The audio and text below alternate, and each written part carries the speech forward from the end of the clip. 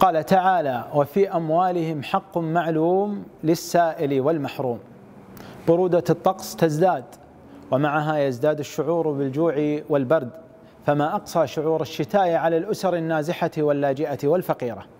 الهلال الأحمر القطري يتواجد من خلال حملته الشتاء الدافئ في 14 دولة حول العالم لتوفير المساعدات الشتوية للمحتاجين من غذاء ومأوى ودواء. الإنسانية أولا. ودفئهم غايتنا. فإلى كل من يستشعر قيمة الإنسانية نوجه الدعوة للمساهمة في هذا العمل الإنساني النبيل والتخفيف من وطأة الشتاء القارص على نفوس المحتاجين.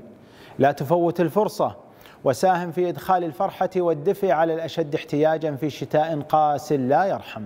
تبرع لخدمة الإنسانية.